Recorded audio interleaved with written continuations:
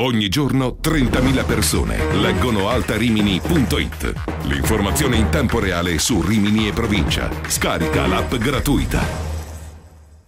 Male, malissimo in Bellaria. Se con la Stella era stato aperto un conto con la diabendata, a domicilio i ragazzi mugellesi subiscono la mannita da Rida, che mette in evidenza soprattutto J6. Proprio lui, nelle primissime battute del match, dopo un'azione corale, deposita la sfera al lato. Ma la frittata è dietro l'angolo, Bellaria che si fa male da solo, cross della destra, Ferraro sporca la traiettoria con il pallone che si alza a campanile, divenendo un comodo invito per J6 infilarlo in fondo al sacco.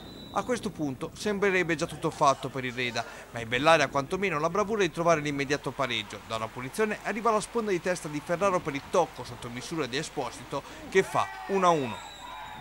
Parte opposta, dalla bandierina Torres colpisce il pallone letteralmente con le braccia per il direttore di gara, trattasi di rigore. Dagli 11 metri si presenta Conti che porta così in vantaggio i suoi. Lo stesso Conti non approfitta sul finire di tempo di un liscio difensivo della difesa bellariese, smorzando la conclusione che viene tra l'altro deviata in corner.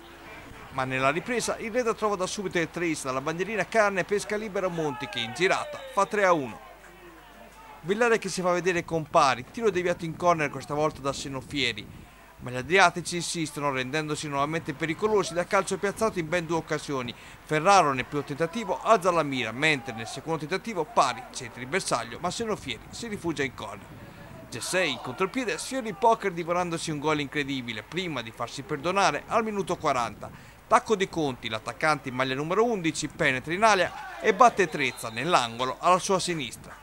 Nel finale, alto contropiede, questa volta di Khan si fa tutto il campo, evita Trezza in uscita e deposita il pallone del 5-1 in fondo al sacco.